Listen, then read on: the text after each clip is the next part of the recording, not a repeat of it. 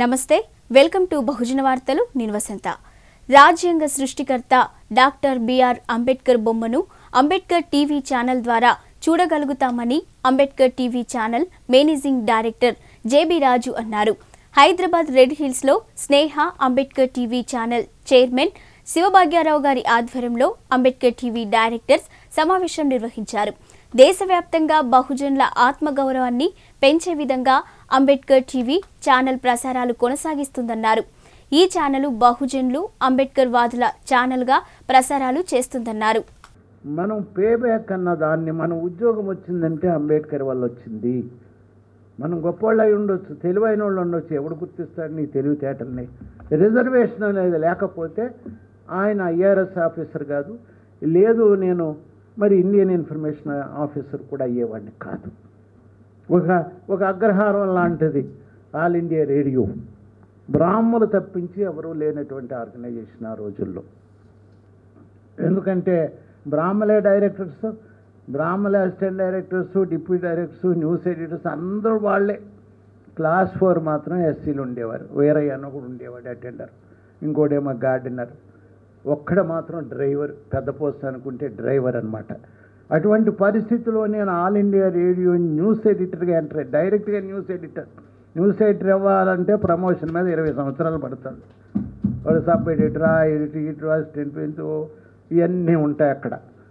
So డైరెక్ట్గా అయ్యానంటే అంబేద్కర్ ఇచ్చిన reservation వాళ్ళు అయ్యాను. అయిన తర్వాత మనం ప్రూవ్ చేసుకున్నాం.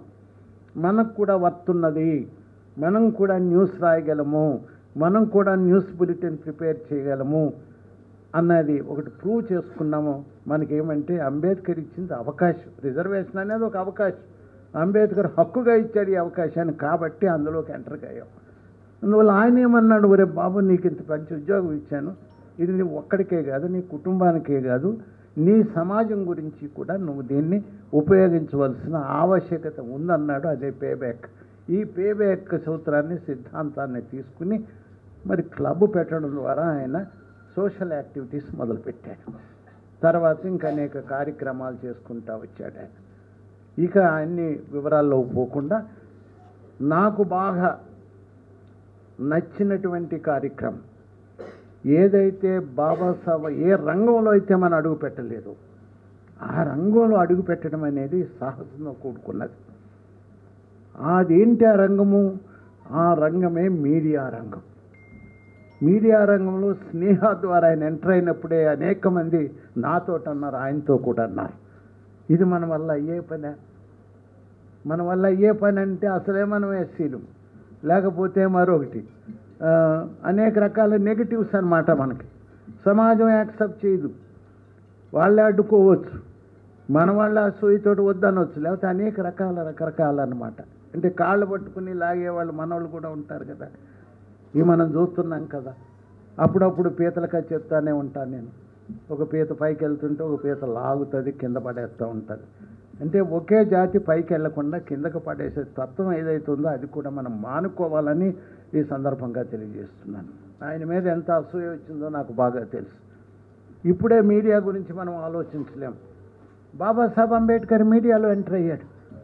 ఎందుకు ఎంటర్ అవ్వాల్సి వచ్చిందో తెలుసా?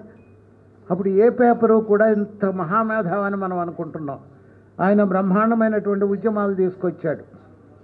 ఒక టెంపుల్ ఎంట్రీ సంబంధించే నాలుగు సంవత్సరాలు సుదీర్ఘంగా పోరాటం చేశాడు.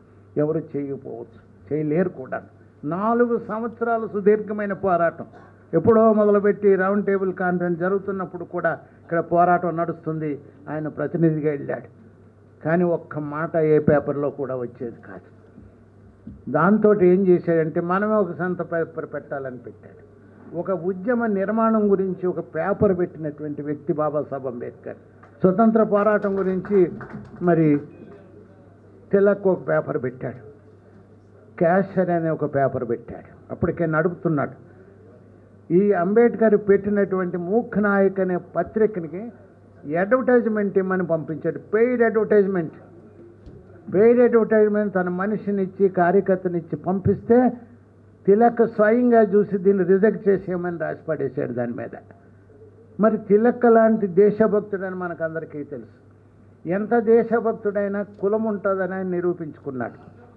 ఆయన దీనిని రిజెక్ట్ చేశాడంటే అర్థం ఏంటి ఒక పేపర్ను కూడా అంబేద్కర్ అనే అన్టచబుల్ పెట్టాడు కాబట్టి పేపర్ కూడా అన్టచబుల్ అని గుర్తించాడు ఆయన.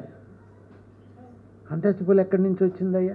అంబేద్కర్ చేతుల్లోంచి పేపర్లోకి అన్టచబిలిటీ వెళ్ళిపోయిందా?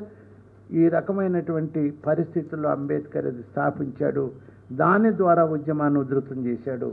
తర్వాత ఇంకా అనేక పత్రికలు పెట్టుకుంటూ వెళ్ళిపోయినాడు ఒక ఉద్యమాన్ని మహోద్యమంగా మార్చాడు.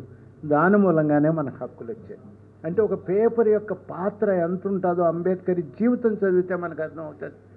అందువల్ల శివబాయి గారు గారు ఏమంటున్నారు? వంద సంవత్సరాలు అవుతుంది.